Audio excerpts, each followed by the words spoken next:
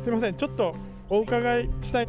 右のなだらかな斜面のあの太陽光パネルのあたりって。あでもこれは防空壕かな。えー、こここちらね鴨方の、えーとあるエリアに来てるんですけどもこの場所にですね、えー昭和の初期あたりかな。まあ正確には明治時代から作っていったものなんですけど昭和の時代に主にあの活用された、えー低身長のケーブルハットが、えー存在しているということで、まあ、ケーブルハットっていうのはななんだということなんですけども、えーまあ、昔のね長距離の電話線の関係した建物でで電話線っていうのはあのやはり長ければ長いほどあの電波というかその通信が落ちちゃうので、まあ、たそのケーブルハットっていうのを立ててその通信のを安定させるっていうような感じですね、まあ、今で言うとそのなんだろうな電波塔みたいな役割をしていたものがこの近くにあるということで今日は探していくわけなんですけども、えーちょっと風が強いですね。びっくりしました。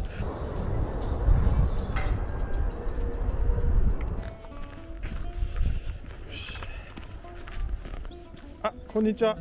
すいません。ちょっとお伺いしたいんですけどちょっといいですか？ごめんなさい。えっ、とちょっとねこの場所をちょっと探してましてわかりますかね？この建物があるって聞いて。交差点からあの右に曲がってもらうて、はい。ずーっとあのもうに西へ西へ行ってもらうたらえーっとなどれぐらいじゃろうな500メーターぐらい行くかな？あの山の中ですよね。いや畑畑今太陽光しとるかな？あのどないしとるかな太陽光しようとしとるとこかな。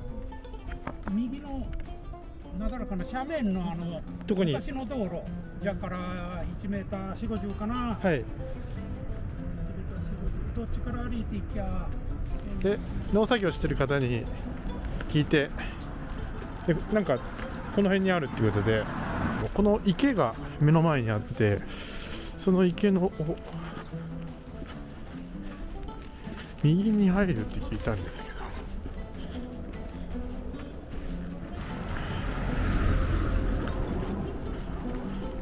じゃあここ入っていくのかな。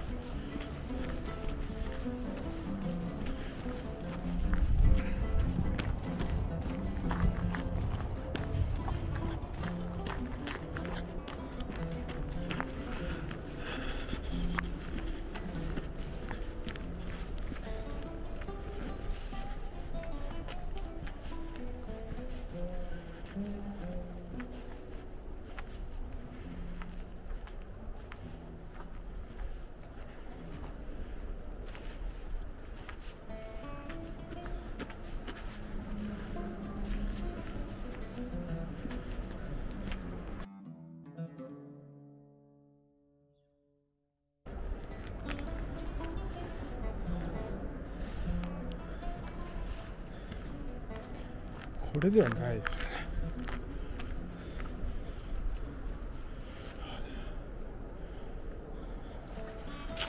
あでもこれは防空壕か。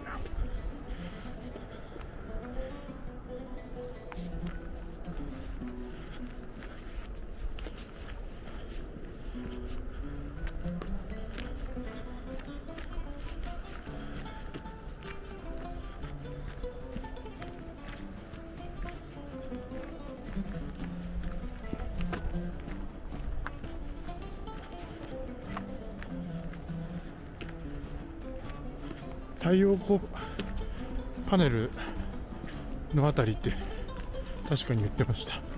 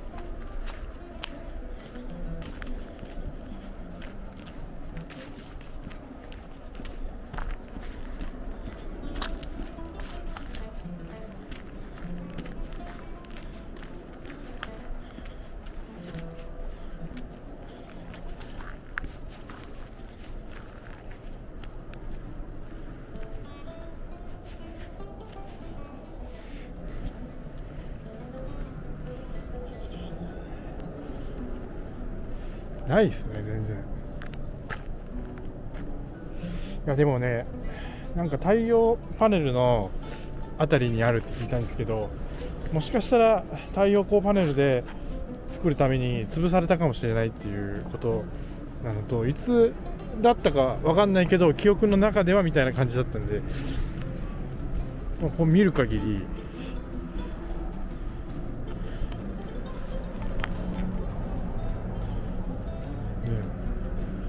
草生い茂っててあれなのおこんなとこに。おお諦めてたんですけども。ありました。こんなとこにね。ケーブルハットが。中はね一升瓶とか農機具があります。ちょっとびっくりしました。こちらがねケーブルハットっていう結構。